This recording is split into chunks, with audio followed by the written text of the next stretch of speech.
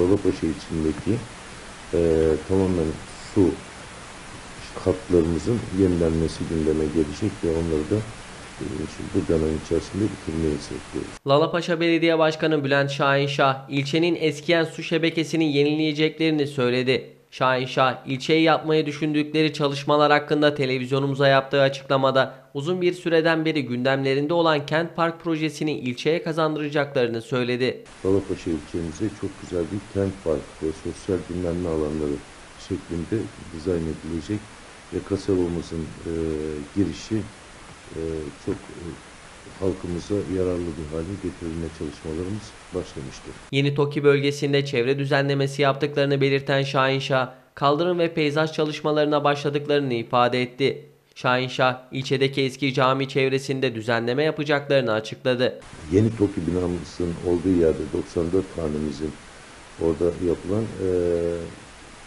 şey, kaldırım çalışmalarımızı bitirdik. Şu anda ışıklandırma çalışmalarımız da bitti. Eee peyzaj çalışmalarımız da yapılacak.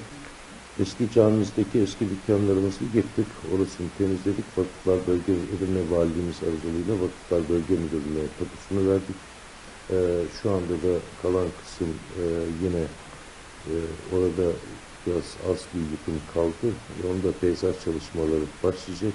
Yalalapaşa ilçemize eski camimizin tarihiyle beraber orası tamamen halka yeşil sağlanıp kazandırılacak. Lalapaşa'da içme suyuyla ilgili sondaj çalışması yapacaklarını belirten Şahinşah, ilçenin su şebekesini de yenileyeceklerini açıkladı. Sinanköy istikametindeki eski su kuyumuzun yanlarına tekrar bir içme su kuyusu çalışmalarımız devam etmektedir.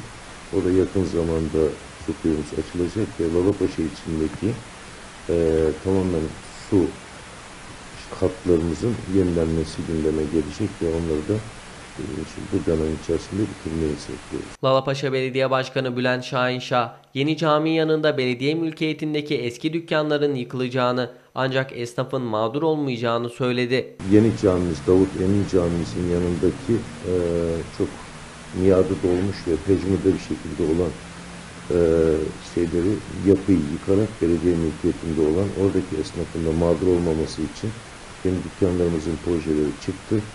Daha sonra da orasında tamamen yeni camimizin de etrafını açarak eee, oradaki içkili meyhaneleri oradan kaldırıp bir başka yere nakledeceğiz ve Lalapaşa ilçesine de hayırlı ve uğurlu olsun bu çalışmamızdan.